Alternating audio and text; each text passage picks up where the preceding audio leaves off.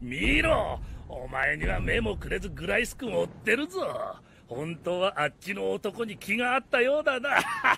誰 何か言ったか？お前だろう。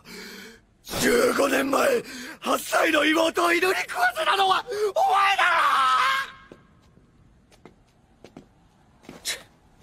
ろ俺にそいつをよこせ。お前ら先に船に戻ってろ。あ了解です。どういうことですか？ここからは総長の趣味の時間だ新入り。まああまり触れてやるな。クルーガー尋問はもう済んだろ。今回はそいつに踊ってもらうぞ。踊る？思い出したよ少年。お前は巨人にしないでやる34メートルくらいの巨人に調整するからこいつと戦ってくれ。なんでこんなことするんだ。人が巨人に食われるのが見たいとでも言うのか。なんでってそりゃ面白いからだろ。どうかしてると思うか？でも人は残酷なのが見たいんだよ平和ってのは大変結構なことだが何か物足りんのだろうな。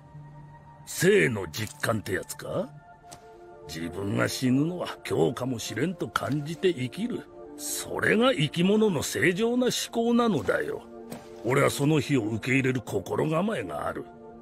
なぜならこうやって残酷な世界と向き合い理解を深めているからだ。ああお前の妹を息子たちの犬に食わせたのも教育だ。心は痛まないのか？まあ言いたいことはわかる。もし息子が同じ目にあったらと思うと胸が締め付けられる。かわいそうにエルディア人でさえなければな。は見ろあれがお前らの正体なんだぞ巨人の脊髄液を体内に吸収しただけで巨大な化け物になる。お前らエルディア人をこの世から一匹残らず駆逐する。これは全人類の願いなんだよ。なんだと。心が痛むわけないだろう。人殺しはそっちだろお前ら復権派は俺たちマーレに何をしようとした？心は痛まなかったのか？嘘だ。俺は真実を知っている。始祖ユミルは大陸の人々を豊かに。なあ分かったよ。偉大な歴史があったんだろ？下にいる友達と語り合うといい。やめろ！だからなほら妹が読んでるぞ